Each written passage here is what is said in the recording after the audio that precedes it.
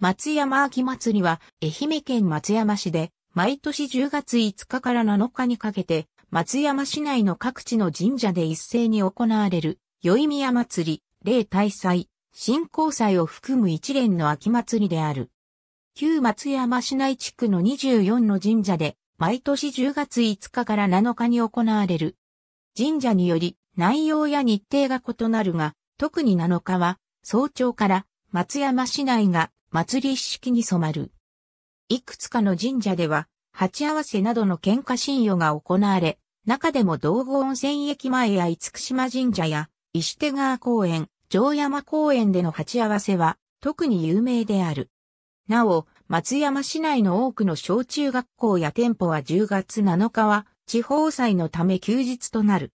収穫への感謝、五穀豊穣、家内安全、商売繁盛などを願った秋祭りで、多くの神社で神輿による練りが行われ、一部の神社では、大神輿による鉢合わせなどの喧嘩神与が行われる、喧嘩祭りである。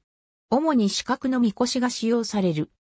担ぎ手は、タンオットや神輿守ると呼ばれ、多くは、ハッピと鉢巻きを着用している。成人男性の担ぎ手の神輿は、大神輿や大人神輿と呼ばれ、練り歩く際の掛け声は、よいさよいさであるのに対し、女性のみこしは、女みこし、子供のみこしは、子供みこしや、子みこしと呼ばれ、掛け声は共に、わっしょいわっしょいである。おおむね町域ごとに、みこしと担ぎ手が分かれている。通常、大みこしの上にはみこしを仕切る、大戸踊りが乗り、担ぎ手を鼓舞したり、タイミングを合わせるための指示を行う。各期比べ複数のみこしで、みこしぶりなどを行い、美しさや力の強さを競う。口述の一体走りや鉢合わせも書き比べの一種である。みこしぶり玉振り、生の背の掛け声でみこしを高く持ち上げ、道者道者の掛け声とともにみこしを激しく揺らす。みこしを振ることで、神の霊意を高め、御霊の発動を促進する行為とされ、激しく振るほど神が喜ぶとされる。鉢合わせアヌマビ神社や厳島神社、道後温泉駅前で行われるものが有名。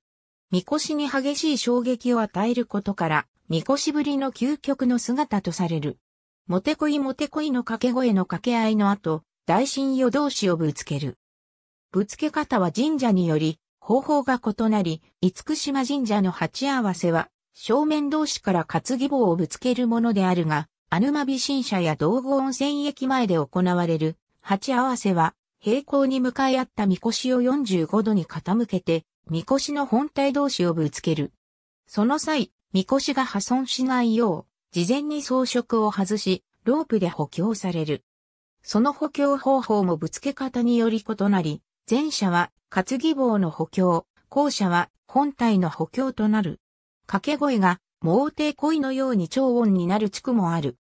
担ぎ手には危険が伴い、以前は死人も出ていたため、現在は応答ドリラにより細かいルールが決められて安全に行われている。2019年現在、2006年を最後に死者は出ていない。一体走り、勝岡八幡神社で行われる。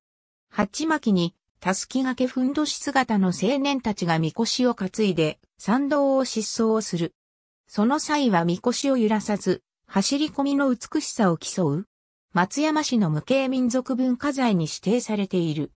川狩神事、勝岡八幡神社秋祭りの安城寺地区では、みこしを熊川に入れ、流水で清める神事が行われる。信用温度信用で練り歩く際、公民館などから町内放送で流される曲。作詞は矢野良、作曲は中野忠春。現在流れている曲は昭和28年に三橋道也が吹き込んだものという記録があるが、使用開始時期は不明である。17世紀の松山藩政時代頃から行われているとされる。松山藩は、アヌマ美神社、遊軍神社、伊佐治派神社の三社で行われる祭りを山祭と称した。アヌマ美神社のみこし、手前が四角、左奥が地義18世紀末の松山藩の記録に馬酒のみこし三体。八角は第三石大明神。四角は水神。地気は雷神なりという。と書かれている。地期は、ちぎみこしのことである。八角で、金色のみこしは、安見さん、四角で黒色のみこしは、四角さんと、それぞれ呼ばれ、鉢合わせで町人と農民の力比べが行われ、町人の四角さんが勝てば商売繁盛、農民の安見さんが勝てば、五国豊穣と言われている。太平洋戦争中は、各地で練りが自粛されたが、3体のみこしは1945年7月の松山大空襲で社殿と共に消失したが、1947年に復活した。1754年の秋軍大官書記録に、勝岡八幡宮出走込みとあることから、江戸時代中期には一体走りが走り込みの名で行われていたことが分かった。2016年の祭りを最後に、安倍新仏具店が後継者不足のためみこしの製造を休止。2009年より毎年9月の下旬頃の日曜日に市内各地のみこしとともに愛媛県下を代表して宇和島市の牛木、新居浜市の太鼓台、西条市からの団尻が参加する大みこし総連が行われている。ありがとうございます。